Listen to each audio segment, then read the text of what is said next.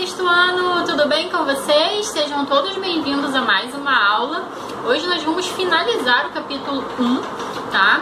É, e vamos estudar a diferença entre os textos literários e os textos não literários, ok? Bem, esse conteúdo vocês encontram na página 4 da apostila de vocês, na parte de produção textual, tá? Então vamos abrir então a nossa apostila na página 4, tá? Pra gente conceituar, né, é, o que é o texto literário, o que é o texto não literário, tá? É, e também, é, depois eu vou colocar aqui alguns exemplos pra gente é, consolidar esse conhecimento, ok? Então vamos lá. Na página 4, a gente tem aqui, ó, textos e tipos textuais, tá? E a apostila traz pra gente a definição de texto, tá? Isso é muito importante, porque, gente, vocês estão agora, né, iniciando o sexto ano e a gente vai trabalhar muito a produção textual aí ao longo dos bimestres, tá? Então, o que é um texto? Vamos marcar aí. Ó, o texto é um conjunto de palavras e frases que juntas permitem interpretação e transmitem uma mensagem tá? Marquem essa definição de texto que aparece aqui na apostila na página 4, tá? Por quê? Porque ela é muito importante. Vejam só, o que, que diferencia um texto de um aglomerado de frases, tá? No texto, gente, as frases elas estão articuladas, elas se articulam formando um bloco coeso, uma unidade de significado, tá? Então, o texto ele precisa ter um início, um meio e um fim, texto é como um fio, né? A gente vai tecendo, nenhuma pontinha desse fio, né? É como um tecido, desculpa, e nenhuma pontinha de fio pode ficar solta num tecido, não é isso? A mesma coisa num texto. Então, eu vou usar aqui como base, né, para explicar para vocês, né, de maneira mais clara, um uh, gênero textual que é muito conhecido, né, os contos de fadas. Acho que todos vocês já leram ou já ouviram, né, um conto de fadas, tá? Como é que ele começa, gente? Era uma vez uma linda princesa que vivia num castelo. Então você tem o início, né, do texto. Você tem o que? A apresentação dos personagens, a apresentação do espaço narrativo, que é onde ocorre, né, efetivamente a história, né? É, depois, em seguida, você tem o que? O conflito, né? Então, essa princesa morava com uma madrasta que era muito má, e um belo dia a madrasta tentou, né, programou a sua morte, né? Então a gente tem ali já o conflito, uma sequência de ações e por fim a gente vai ter o desfecho dessa história, né? Algo vai acontecer ali, né? no meio da história e no final a gente vai ter um desfecho, que nos contos de fadas, né, é sempre o mesmo. E foram felizes para sempre. Então percebam que o texto, né, ele tem ali uma trajetória, né? A gente tem o início, no caso do conto de fadas, né, que começa ali com a apresentação dos personagens, com a descrição do ambiente narrativo, que pode ser um palácio, um castelo, né? Depois nós temos o que? O conflito entre os personagens, né? Ações acontecem, brigas, guerras, né? Tentativas de envenenamento, né? Depender do conto de fadas. E por fim, né? Há sempre um príncipe, né? Ou, ou alguma fada madrinha, alguém que vai resolver aquele problema e a gente vai ter uma retomada ali do equilíbrio inicial, né? Todos serão felizes para sempre. Tá? Então, é, o que diferencia o texto de um conjunto solto ali de palavras, né, é isso. O texto ele tem início, meio e fim. O texto ele é tecido, a gente vai construindo esse texto, tá? articulando as ideias que são colocadas no texto, de modo a produzir um todo, né? é, é uma unidade de sentido, um significado, uma mensagem, ok? Bem, e então, qual seria a diferença entre o texto literário e o texto não literário, tá? Bem, é, eu vou colocar aqui para vocês dois, dois exemplos, tá? É, vamos ver o texto 1 agora, que vai subir aqui na tela. Esse texto foi retirado é, de um site da, da, da internet, né, é, cujo título é Receitas Nestlé, tá? Então a gente tem várias receitinhas aí nesse site, que podem ser feitos com produtos né, da Nestlé. E eu peguei aqui para conversar com vocês sobre a receita de brigadeiro. Vamos ver? Primeiro, o que, que a gente tem numa receita, né? Ingredientes. Então, uma, um, uma caixinha, né, ou latinha de leite moça, 3 colheres de sopa de chocolate em pó, uma colher de sopa de manteiga e duas xícaras de chá de chocolate granulado. Esses são os ingredientes que nós vamos utilizar para fazer um brigadeiro.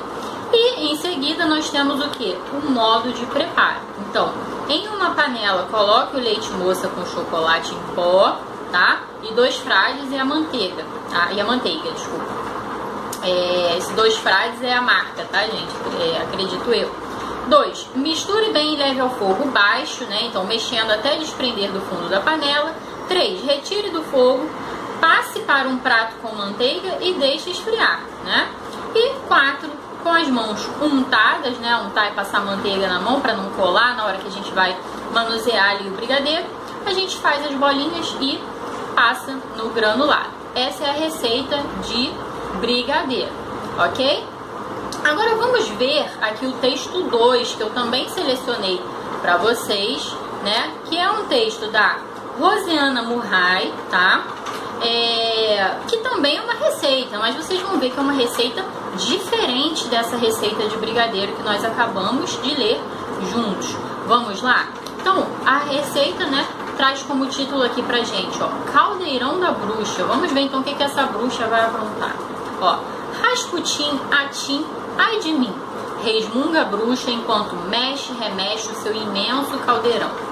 Asas de morcego, rabo de lagartixa, cocô de baleia, unha de sereia, a bruxa mexe, remexe o seu panelão. Meleca de sapo, bico de pinto, pena de pavão, goiaba bichada, mexe, remexe com pau de sebo, seu sopão nabo estragado, casca de besouro, pó de ferro, pó de ouro, ai de mim, atim, rasputim, tá? Percebam que aqui no texto 2 a gente tem uma receita nada convencional, né? É, é o caldeirão da bruxa. Então a gente tem aqui o que? Ingredientes inusitados, né? Quem é que usa meleca de sapo, bico de pinto, pena de pavão, goiaba bichada? para fazer alguma sopa, alguma receita, né? É, percebam que há elementos também do universo mágico, místico aqui, né? Ó, uh, pó de ferro, pó de ouro, tá? É, que lembram aí essa ideia mesmo dos contos de fadas, né? Do pó de piripimpim, né? Então, percebam que aqui, qual é a diferença entre o texto 1 e o texto 2? Em ambos os textos, nós temos o que? Receitas, né? que listam ali uh, os ingredientes a serem usados e o modo de preparo, né? No caso aqui do caldeirão da bruxa, a gente tem também o modo de preparo, né? Que é jogar tudo dentro do caldeirão e mexe, remexe, mexe, remexe. Não é isso? Percebam que então nós temos duas receitas, tá? Mas elas são diferentes. Por quê? A primeira delas é uma receita convencional. Então a gente tem um uso denotativo da linguagem, ou seja, aquele uso né, é, não expressivo, aquele uso comum do dia a dia, né? As palavras aqui não assumem novos significados, elas são usadas no seu significado básico, tá? Esse tipo de texto, ele aparece o que? Em livros né, é, de culinária, em sites de culinária, em é, programas de TV como da Ana Maria Braga, por exemplo. Já esse, esse texto 2, né, o Caldeirão da Bruxa, traz pra gente uma receita não convencional, inusitada, né, com ingredientes que a gente sabe, né, muitos deles não são ingredientes, né, que nós usamos no nosso dia a dia, como por exemplo asa de morcego, rabo de lagartixa, é, unha de sereia, tá? Então, essa é a diferença entre um texto literário e um texto não literário. Nós estamos diante de um texto literário, que no caso é o Caldeirão da Bruxa, o texto 2, e diante de um texto não literário, que no caso é a Receita de Brigadeiro, texto 1, que nós lemos, tá? Conseguiram perceber na prática, então, qual a diferença entre um texto literário e um texto não literário? Texto não literário, ele não traz esse uso expressivo da linguagem, diferenciado da linguagem, tá? Então a gente emprega as palavras né, no seu sentido denotativo, né, ou seja, no sentido do dicionário, aquele sentido básico do dia a dia, tá? E é, é, um texto mais informativo. No caso aqui da receita de brigadeiro, é um texto é, cujo objetivo é instruir o leitor acerca do, da preparação né, de, um, de um prato, que no caso aqui é o brigadeiro, né, de um doce, tá? Já o texto 2 não. Apesar de ser uma receita também, de apresentar ingredientes e tudo mais, e modo de preparo aqui desse sopão da bruxa aqui, a gente não pode dizer que esse texto tem por objetivo instruir o leitor acerca né, de uma preparação aqui de algum prato. Na verdade, ele tem por objetivo o quê? Divertir, né?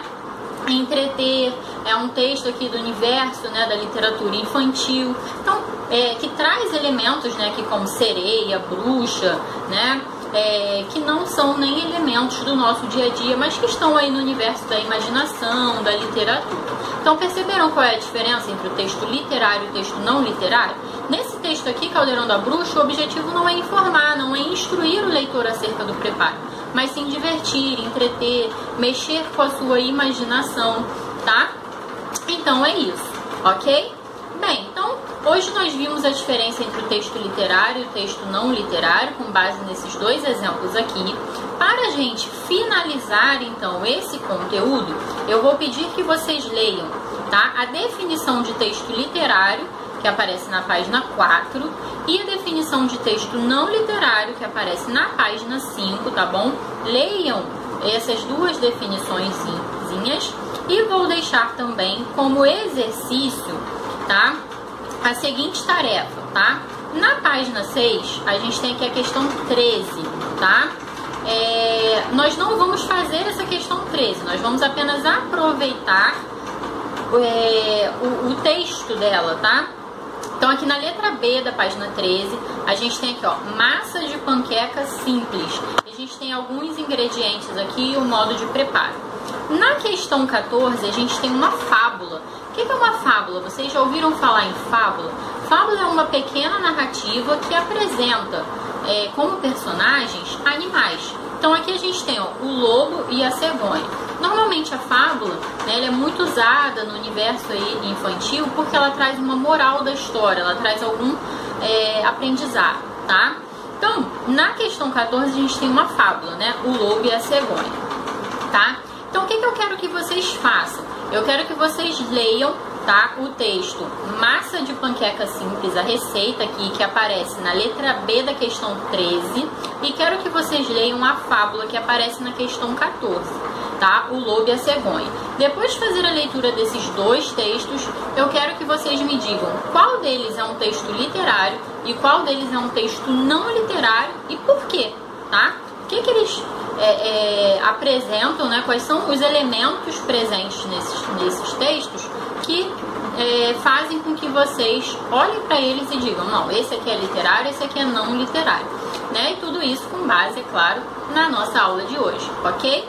Eu vou enviar o gabarito depois dessa atividade para vocês, tá bom, gente? Beijo enorme para vocês e até a próxima aula. Tchau!